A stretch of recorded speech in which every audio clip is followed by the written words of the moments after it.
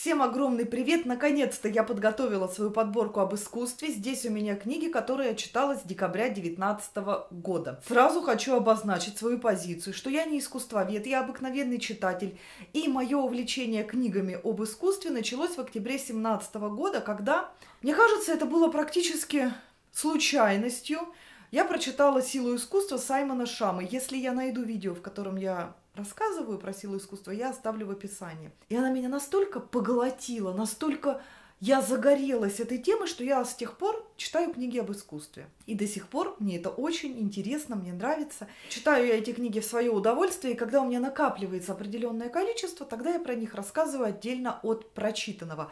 При этом я не слушаю подкасты, я не смотрю какие-то передачи, потому что мне гораздо больше нравится читать именно книги. И давайте я начну с книжки, которая вышла в декабре 2019 года. Я ее сразу прочитала. И вообще это одна из лучших книг 2019 года. Этот автор стал для меня практически стопроцентной гарантией качества, что книга, которую он напишет, будет потрясающая. Это Шенкс Хейн и его авангардисты. Он приезжал на презентацию книги, на нонфикшн. Он мне очень понравился, у меня есть от него автограф.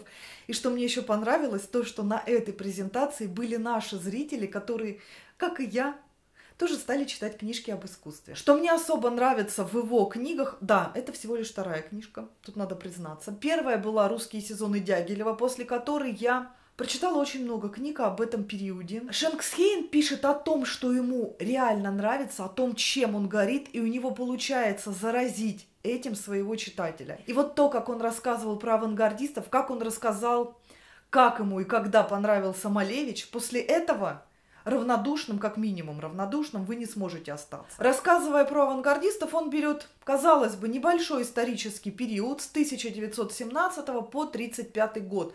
Но то, сколько за этот период успели сделать художники, это нечто невероятное. Все началось с 15 года, когда была выставка, на которой Малевич показал свой черный квадрат. И вокруг черного квадрата до сих пор ведутся какие-то дискуссии, дебаты, что люди, которые смотрят на эту картину, делятся на два типа, да, которые либо ненавидят ее, либо не понимают, либо говорят, что это может нарисовать любой человек.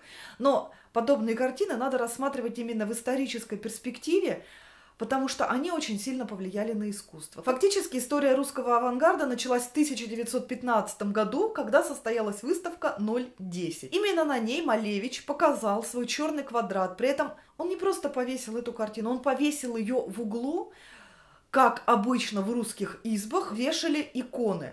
Таким образом, Малевич нам показал, что история меняется полностью, и к старому она уже не вернется. Это было очень ново, это было очень необычно. И именно с этого началась история супрематизма и русского авангарда. И в своей книге Шенксхейн сетует о том, что не все авангардисты известны в мире так, как этого заслуживают. Да, очень известен Малевич, Лисицкий, Родченко, Попова, но мало кто знает о Владимире Татлине, который нравится Шенгусхейну и нравится мне. Владимир Татлин создал такую вещь, как памятник Третьего интернационала. То, что должно было быть построено, по-моему, в размером 400 метров, то, как он представлял эту башню, ну, она, наверное, не могла бы появиться в реальности, но как минимум ей могли бы сделать какой-то памятник, как памятник русскому авангарду, потому что выглядит она совершенно потрясающе. И даже когда сейчас ты смотришь на фотографии тех времен, когда он делал эту, этот памятник, когда ты смотришь на какие-то иллюстрации с ней, это до сих пор выглядит очень необычно даже во многом, я бы сказала, инопланетно. И у Татлина таких работ необычных, их реально очень много. За тот небольшой срок, когда авангардисты были в России на передовых позициях, они опробовали очень много форм самовыражения. Они устраивали инсталляции, перформансы и занимались абстрактным и концептуальным искусством, которое в принципе, в мире было очень новым и молодым явлением. А после революции сложилась в принципе уникальная ситуация, потому что художники были наделены серьезными полномочиями в культурной политике. Они занимали высокие посты и могли влиять на искусство в стране. И еще что выделяет русских авангардистов от авангардизма в мире, это то, что они все занимались педагогической деятельностью всю свою жизнь. Татлин, Малевич, у них всегда были ученики, при этом они не просто их учили, они очень часто с ними делали совместные проекты. Но у русского авангарда история в итоге сложилась не очень веселая, потому что после эйфории 17-18 года гайки стали закручивать, потом вышел соцреализм на передовые позиции, ну, соцреализм в искусстве, и свой авторитет стали терять очень многие. И несмотря на то, что русский авангард был на пике короткое время, он очень сильно повлиял не только на русское искусство, но и на мировое. И вот что меня очень сильно удивило в истории у Шенгасхейна, я об этом не знала. Очень много художников-супрематистов выставляется в Нидерландах на постоянных экспозициях. Именно тогда по-моему, Шенгусхейну было 12 лет, когда он впервые познакомился с творчеством Малевича. Про книгу Шенгусхейна можно говорить бесконечно. Вот насколько это здорово, когда автор горит своей темой и настолько увлекательно умеет о ней написать и рассказать, что даже если вам это вообще не интересно, то мне кажется, у Шенгасхейна это станет интересно. И большой плюс книжки в том, что здесь очень много фотографий. Ты погружаешься в то время просто с головой. И сразу после большой книжки об искусстве я вам покажу книжку-крошку. Это краткая квир-история искусства Алекса Пилчера. Автор намечает лишь определенные пути, по которому искусство исследует квир-опыт. При этом он берет произведения с 1900 по наши дни. И для меня вот в этой книге было очень много имен и неизвестных работ. Автор в тексте делает акцент именно на картинах и фотографиях, а не на историях о том, как они создавались. То есть Пилчер берет определенную работу, рассказывает о том, когда она создавалась, кем она создавалась и кратко описывает, что этой работой хотел сказать художник. Мне очень понравилась мысль, которую Пилчер здесь затронул, и на которую я раньше обращала внимание и не понимала, почему это так происходит. Действительно, в арт-критике есть такая тенденция, что работы, которые созданы женщинами, обязательно связывают с их биографией, с их личностью, что любой образ, который женщина рисует на картине, отражает ее. И вот из этого вытекает такая мысль, которую я неоднократно читала в работах о Фриде Кала. Ее творчество очень эгоцентрично, очень эгоистично. Она пишет только о себе и только себя. И вот это, мне кажется, не очень правильно.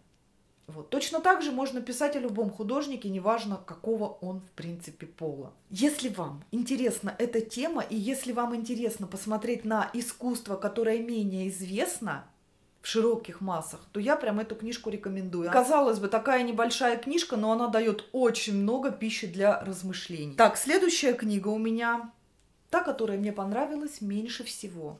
Это Мария Санти «Просто об искусстве». Краткий обзор истории искусства с древних времен до наших дней. Сама Мария Санти искусствовед и пишет она об искусстве с большой долей иронии. Эта книга одновременно и хороша, и плоха для тех, кто только начинает знакомиться с историей искусства. Хороша она в том, что она действительно очень кратко, очень здорово описывает определенные исторические периоды, приводит при этом ключевые работы, но ее большой минус в том, что пишет она о многом с иронией, и у читателя, который, допустим, прочитал, и у него это там книжка первая, вторая, пятая, он ко многим произведениям может относиться изначально очень свысока и по-снобистски. Прочитав эту книжку, можно воротить нос и говорить, что ой, ну такое бы сделал кто угодно, например, от Марселя Дюшана, который, да, я, я не очень его люблю, но я понимаю, насколько он важен в истории искусства и насколько он важен в истории 20 века, и что благодаря Марселю Дюшану появилось такое направление в искусстве, как поп-арт.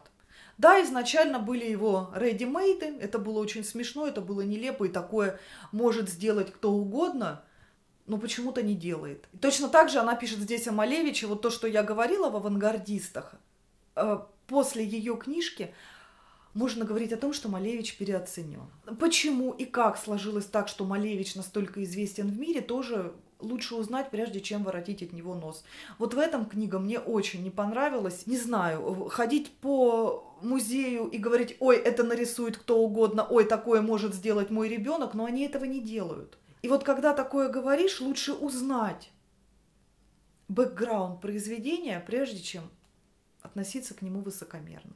Давайте я вам лучше расскажу уже про книжку, в которую автор тоже вложила очень много знаний. Это Барбара Эрлих Вайт «Ренуар. Частная жизнь». Барбара Эрлих Вайт всю свою жизнь занимается творчеством Ренуара, знакомилась с потомками его семьи. Благодаря этому у нее был доступ э, к тем письмам, архивам, которые недоступны широкой публике. Во многом это сыграло минусом для книжки, потому что периодически текст мне казался суховат.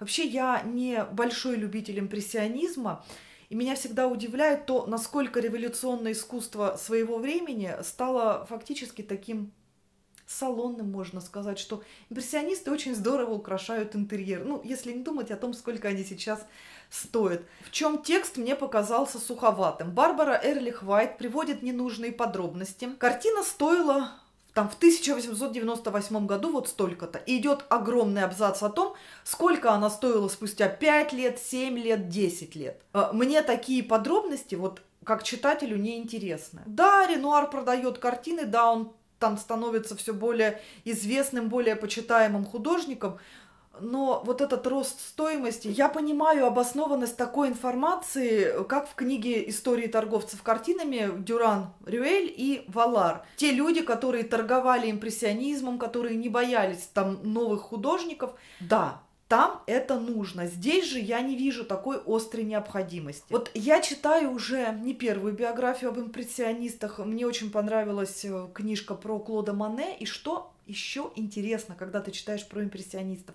Вот ты смотришь на их работы, они такие солнечные, они такие светлые, тебе все время кажется, что эти художники, они такие ля-ля-ля, вот в хорошем настроении рисовали эти картины, и все тут у них цветочки, бабочки порхают. Ничего подобного. Вот как Клод Мане обычно в каком-то очень мрачном настроении рисовал свои солнечные картины, точно так же и Ренуар в дурном настроении, когда жизнь не складывается. И он мог бы творить, как тот же Мунк, но нет. Ты смотришь на картины Ренуара, и тебе кажется, что у этого человека все было просто прекрасно. И что Ренуара отличает от остальных импрессионистов, он один из немногих, кто из бедной семьи. Этот человек знал, что такое нужда, и он все время боялся, что он оставит свою семью в нищете.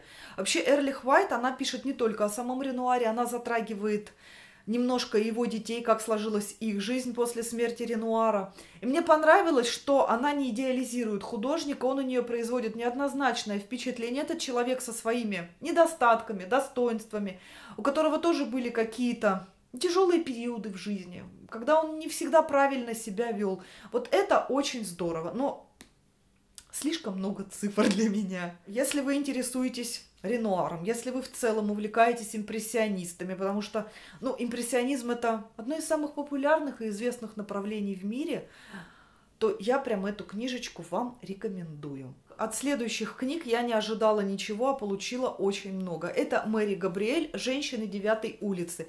Я прочитала первый том, а второй я читала в электронке. Мэри Габриэль рассказывает о пяти художницах Эллен де Кунинг, Ли Краснер, Грейс Хартиган, Хелен Франкентайлер и Джоан Митчелл. В первом томе она охватывает период с 1928 по 48, а во втором томе с 48 по 55.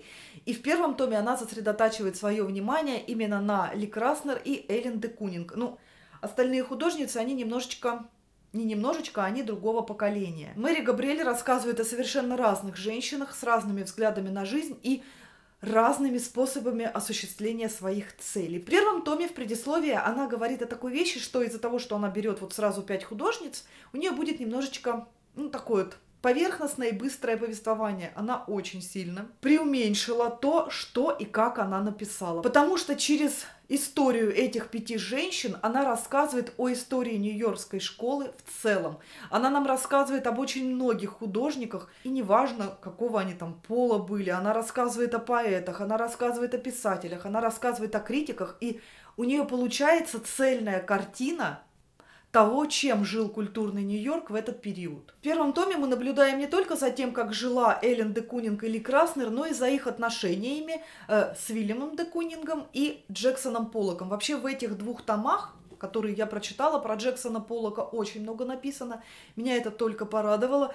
И их отношения с Ли Краснер она раскрыла очень здорово. Нельзя сказать, что Ли Краснер пожертвовала собой как вот художницей ради того, чтобы сделать из Джексона Поллока художника с мировой известностью, она его направила на это, потому что без нее он бы не добился той популярности, которую она ему сделала.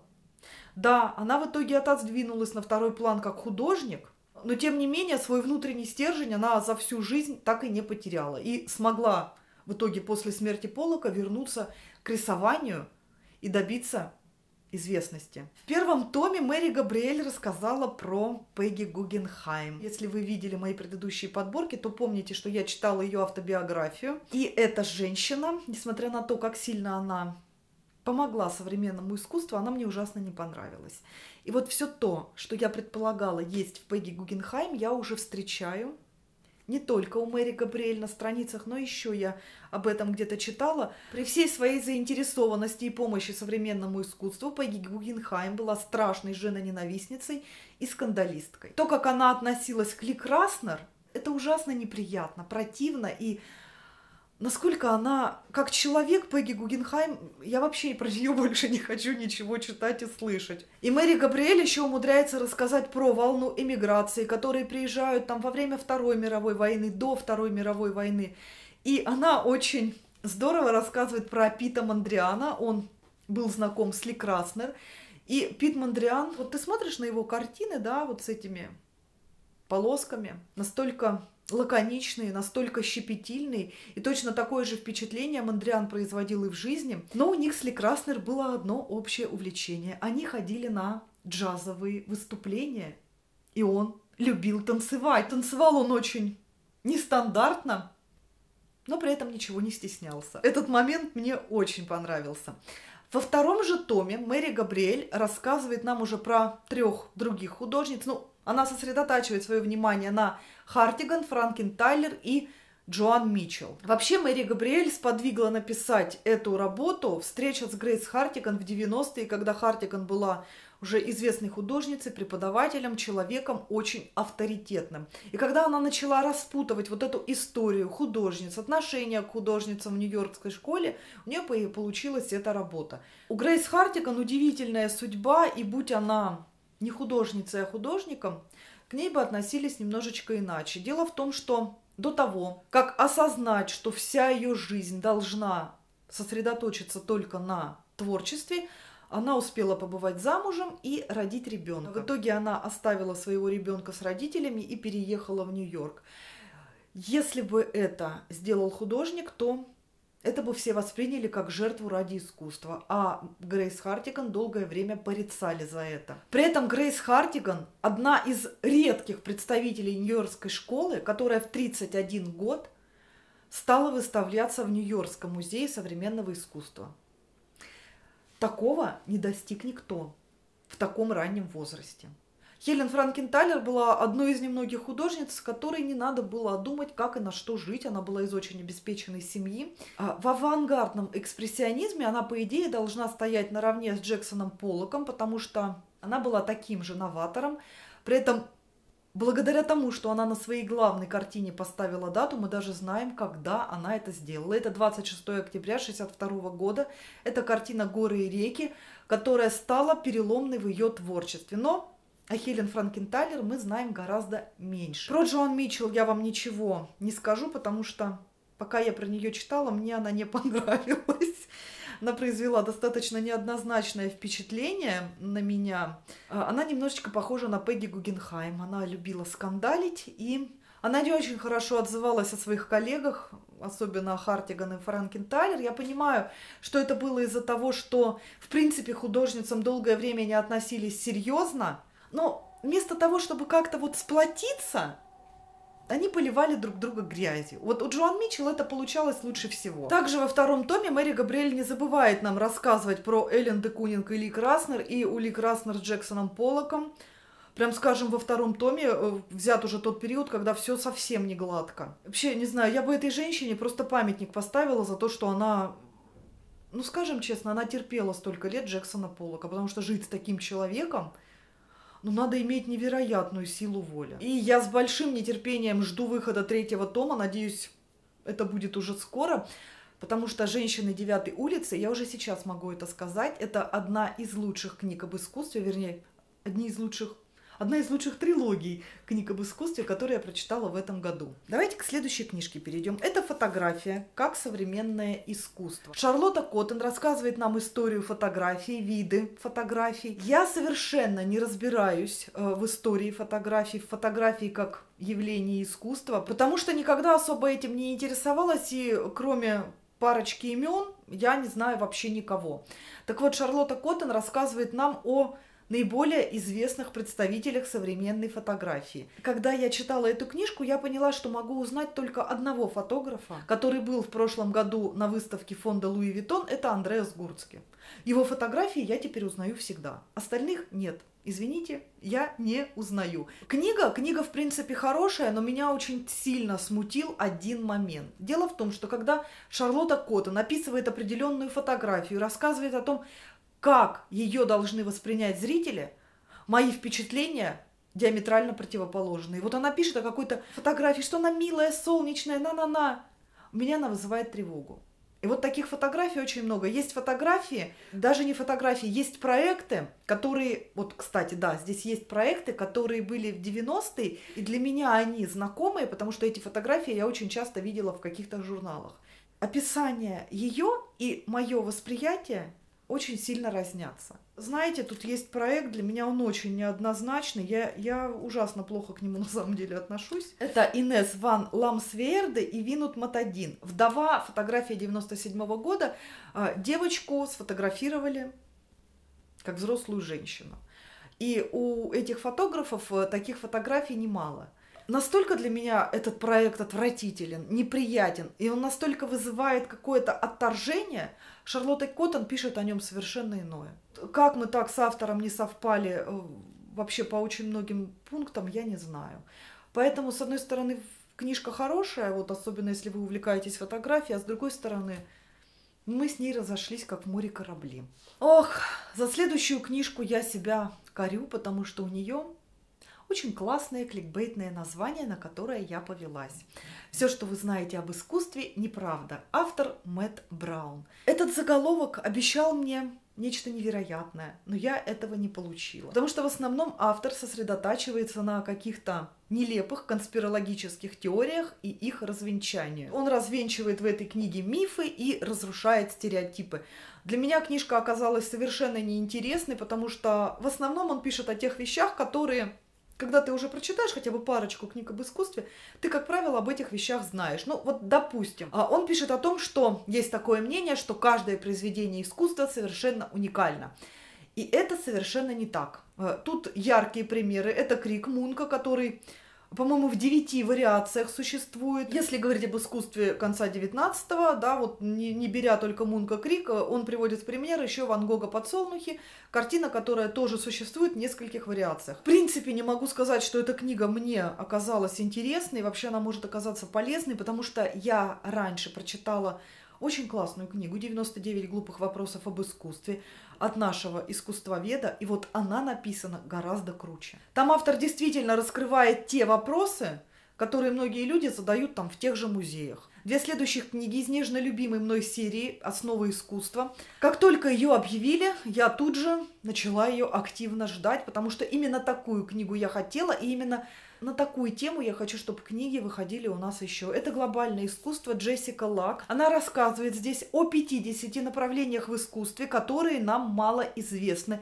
потому что они идут из тех стран, о которых, как правило, искусствоведы не пишут, забывают. В западном искусствоведении искусство из этих стран считали вторичным, третичным и вообще рассматривали как примитивным и чуть ли там не деградирующим. При этом, казалось бы, картина должна была поменяться еще в начале 20 века, когда Пабло Пикассо, Гоген, Матисс и многие другие увлеклись там различными статуэтками из Африки, э, когда художники конца XIX века увлекались японскими гравюрами, но, к сожалению, нет.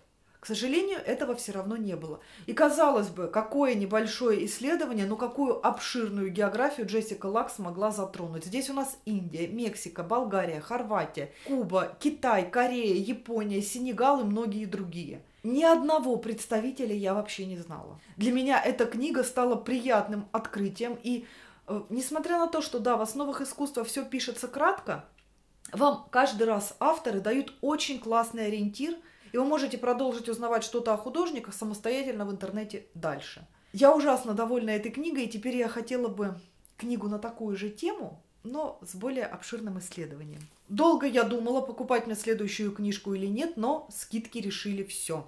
Это «Античное искусство» Сьюзен Вудфорд. Ее я прочитала в этом месяце.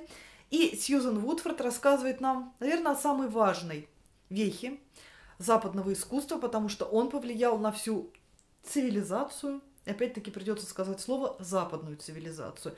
И благодаря античному искусству у нас есть потрясающий период это искусство Возрождения. Это Рафаэль, Микеланджело, Караваджо, Леонардо да Винчи, Тициан и многие-многие другие. Не было бы античного искусства, не было бы их. Она рассказывает о скульптуре, об архитектуре и вот о самых известных, мне кажется, вещах, это о различных амфорах. Я называю это вазы. Я думаю, если какой-то искусствовед смотрит это видео, ему будет очень смешно и стыдно за меня. Что-то новое из этой книжки я для себя не почерпнула. Единственное, что даст эта книга, это то, как э, греческая культура перешла в римскую, и как на римскую культуру повлияла греческая. Вот этот момент здесь очень интересен, и мне кажется, именно у Сьюзен Вудфорд это получилось рассказать доступно. В этой книге, как и во всей серии, очень много фотографий, иллюстраций, это огромный плюс. У Сьюзен Вудфорд получилось написать увлекательно, а не самом интересном для меня периоде в искусстве, за что ей огромное спасибо. Последняя книга для меня стала небольшим разочарованием. Сейчас я поясню почему. Это «Измы. Как понимать современное искусство» Сэм Филлипс. Он рассказывает нам о направлениях, обо всех направлениях в искусстве, начиная с импрессионизма. Потому что именно с импрессионизма началось настоящее разветвление вот, направлений. Различные течения, различные школы.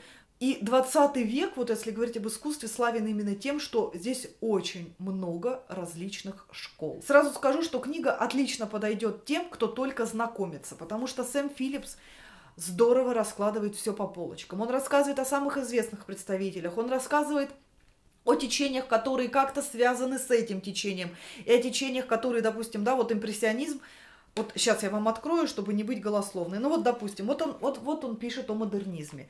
И вот он пишет о том, кто близок к модернизму, какие направления, и кто не близок к модернизму. Он еще говорит о самых известных представителей каждого направления и показывает определенную работу, знаковую в этом направлении. Э, что мне не понравилось? На мой взгляд, э, книга очень субъективная. Да, даже несмотря на то, что Сэм Филлипс в предисловии предупреждал, что это его субъективный взгляд.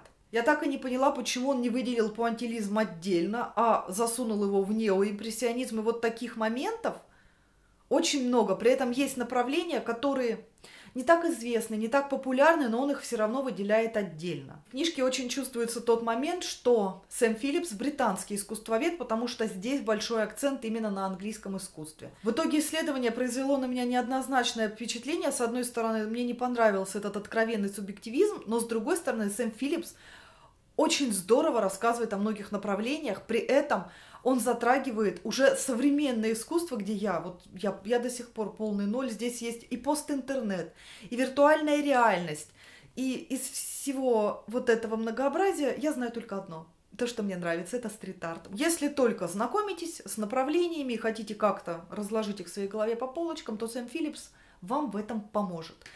Все, мои 10 книг подошли к концу, я уже чувствую, как я выдыхаюсь. Огромное спасибо, что вы посмотрели это видео. Если вам оно понравилось, и вы действительно ждете от меня каждый раз такой подборки об искусстве, то, пожалуйста, напишите мне об этом комментарий, потому что для меня это очень важно, поскольку такие видео не популярны. Все, всем огромное спасибо за внимание, всем пока, и котики, читайте с удовольствием.